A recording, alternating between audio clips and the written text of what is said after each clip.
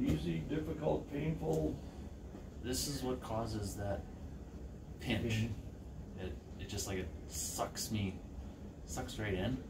Whenever, whenever I get my hands like up here. Tell me if it's getting too much for you. No, it's it's annoying for sure. It's not as bad as what it once was. Just for the heck of curiosity's sake, I'm like, you're not throwing this. Okay. Unless you wanna, I don't know. I'll try catching it, but you're gonna go up, so you get the extra two pounds, and then bring it down. So you're gonna end up starting by the stomach and then ending